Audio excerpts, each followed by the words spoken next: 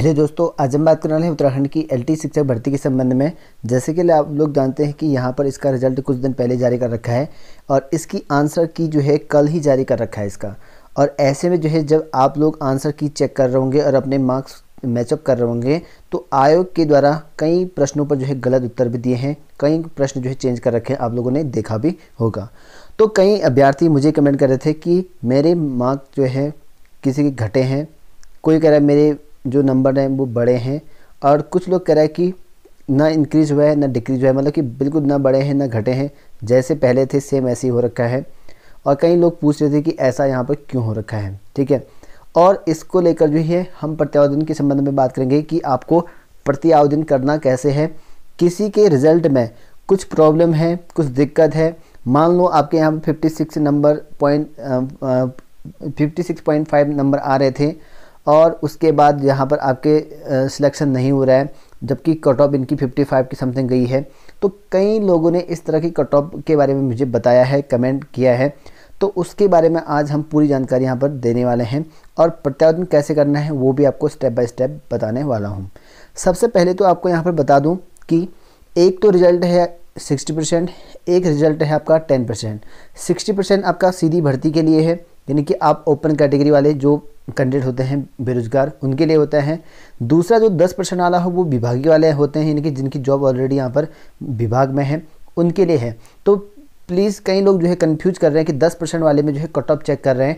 एक बार अपना cut off जो है चेक सिक्सटी परसेंट वाले में चेक करें, ठीक है? सबसे पहली बात तो एक अभ्यर्थी ने मुझे कहा कमेंट किया था लास्ट में जो उनका जो कट ऑफ़ थे, वो टेन परसेंट वाले में चेक कर रहे थे तो ऐसा ना करें।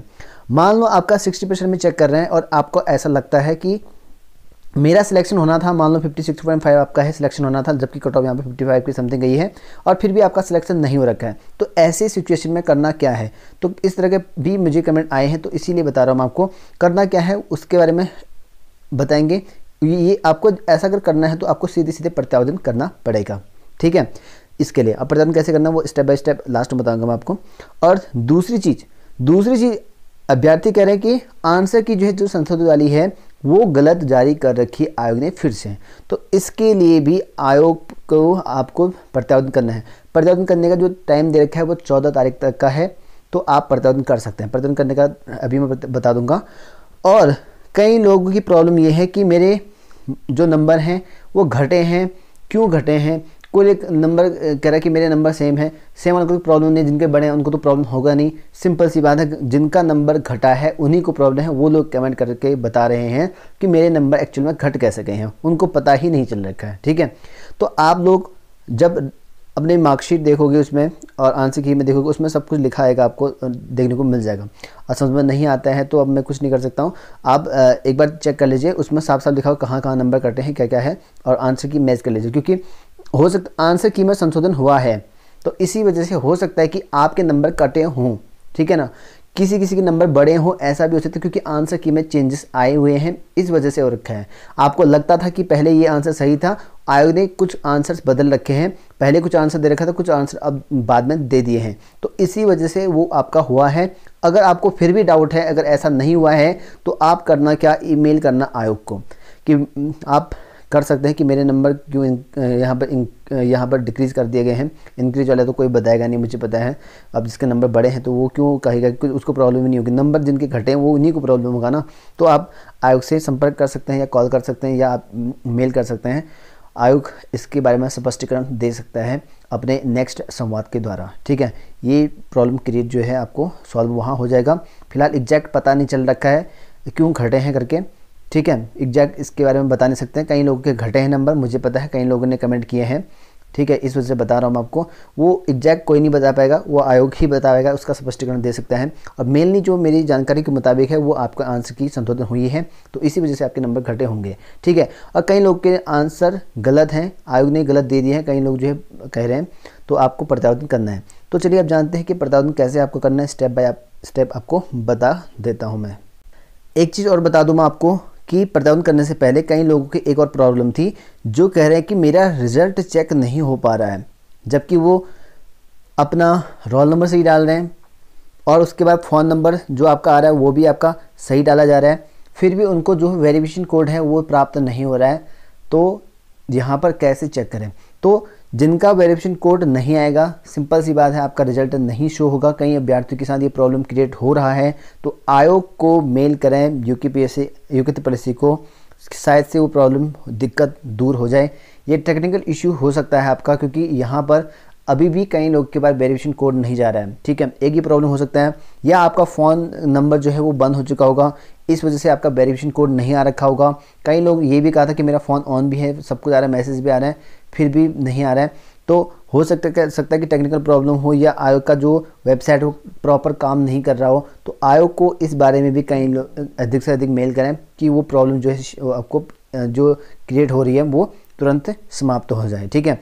मोस्टली दिखे हैं रिज़ल्ट सबके दिखें, काफ़ी कम लोग के हैं जिनका शो नहीं हो रहा है, ठीक है? या तो रिचार्ज कर लें, मैसेज, क्या पता आपके उसमें बंद हो गए हो फ़ोन में, या कुछ और प्रॉब्लम हो सकता है टेक्निकली जो आपके सिम में चली हुई हो, या हो सकता है कि आयोग के ही यहाँ पर जो है उसमें प्रॉब्लम हो तो आयोग को भी मेल कर लेना, एक बार अपना सिम का भी चेकअप चेक कर लेना, ठीक है? अब बात करें प्रत्यावर्तन का, इसका लिंक जो है नीचे डिस्क्रिप्शन में डाल दूँगा वहाँ से लिंक पर क्लिक करते ही आपको इस तरह का पेज शो ऑफ़ होगा, जो आप लोग यहाँ पर देख सकते हैं। इसमें आपको अपना रोल नंबर डालना है यूर आंसर लिखा है जहाँ पे। जैसे इस पर क्लिक करोगे, आपको रोल नंबर डालने के लिए ऑप्शन आ जाएगा। उसके बाद से यहाँ पर जो है एलटी सब्जेक्ट आपका हिंदी है तो हिंदी डालिए मैथ्स है तो मैथ्स डालिए, संस्कृत तो संस्कृत डालिए, जो भी आपका है। कैंडिडेट का नाम यहाँ पर लिखिए, जो भी आपका नाम है। अमित, सुमित, जो भी है आपके पास नाम। फादर का नाम आप लिखिए, जो भी आपके पिताजी का नाम है, और मोबाइल नंबर वही डालना पड़ेगा आपको, जो रजिस्टर मोबाइल हो। और एक प्रॉब्लम ये भी आ रही थी कि भाई, मेरा फ़ोन सिम खो गया है या कैसे हम रिज़ल्ट देखेंगे तो उसका कोई ऑप्शन नहीं है, अदर ऑप्शन है ही नहीं। आपके पास सिम खो गया है, फ़ोन ख़राब हो गया है, आपके पास ओटीपी नहीं आ रखा है उसमें तो आपका शो होगा ही नहीं रिज़ल्ट, ठीक है? और उसके बाद से आपको करना क्या है यहाँ पर, राइट, ठीक है? ठीक है problem in detail regarding result क्या प्रॉब्लम है? आपको यहाँ पर शेयर करना है। आपके नंबर कम है, या मतलब कि आपके नंबर ज़्यादा हैं और मेरिट कम गई है, उसके बारे में अच्छे से लिख देना है, या कुछ अलग प्रॉब्लम हो कैटेगरी को लेकर प्रॉब्लम हो, जो भी प्रतिपादन करना चाहते हैं, जो भी आपकी प्रॉब्लम है, वो आप यहाँ पर लिख देना। उसके बाद से यहाँ पर आप एक, उस चीज़ को लेकर एक पीडीएफ भी तैयार करना है उसी चीज़ को लेकर। ठीक है? मैंने तो पता नहीं क्या स्टेटस ये स्टेटिक्स करके लिखा है। यहाँ पर देखिए, ऐसे आपको डालना पड़ेगा, जैसे यहाँ पर क्लिक करोगे तो एक कोई भी फ़ाइल आपकी आ जाएगी सामने खुलकर। ठीक है? जैसे मेरे इसमें स्टेटिक्स करके आ रहा है, जो भी है यहाँ पे। ठीक है? जो आपकी स्टेटिक्स वाली पोस्ट आ रखी थी, उसका पी डी एफ़ मैं ही बताने के लिए कर रहा हूँ, जैसे अपलोड कर दोगे यहाँ पे तो ये अपलोड हो जाएगा नेट चलेगा आपका प्रॉपर तो ये अपलोड हो जाएगा। ठीक है? अपलोड होने के बाद से यहाँ पर थोड़ा सा प्रॉब्लम क्रिएट हाँ हो गया। तो यहाँ पर सब कुछ फिल करने के बाद ये जो आपने लेटर तैयार कर तैयार कर रखा है, उसका पीडीएफ बनाने के बाद। ऑनलाइन पीडीएफ बनाना है, ना कि पेज बनाना है आपको। पीडीएफ बनाकर अच्छे बनाना। पीडीएफ बनाना सभी को आता होगा। सबमिट कर देना है, आपका हो जाएगा। फ़िलहाल मैंने ये चीज़ एंटर नहीं कर रखा इसलिए ये मना कर रहा है। तो ये सबमिट हो जाएगा, आप आयोग के पास चले जाएगा। ठीक है? तो इस तरह का करना है आपको। प्रॉपर स्टेप बाय स्टेप नीचे डिस्क्रिप्शन में आपको लिंक मिल जाएगा इसका प्रत्यावर्तन करने का। तो आई होप जितने भी आपके कमेंट्स थे वो प्रॉब्लम सॉल्व हो गए होंगे और बाकी जो है आप आयोग से कांटेक्ट कर सकते हैं ईमेल के द्वारा, जो भी प्रॉब्लम होंगी तो शायद आयोग जो है कुछ इसमें जो है आपका निस्तारण करते हैं फ़िलहाल इस वीडियो में इतना ही, मिलते हैं नेक्स्ट वीडियो में। तब तक के लिए गुड बाय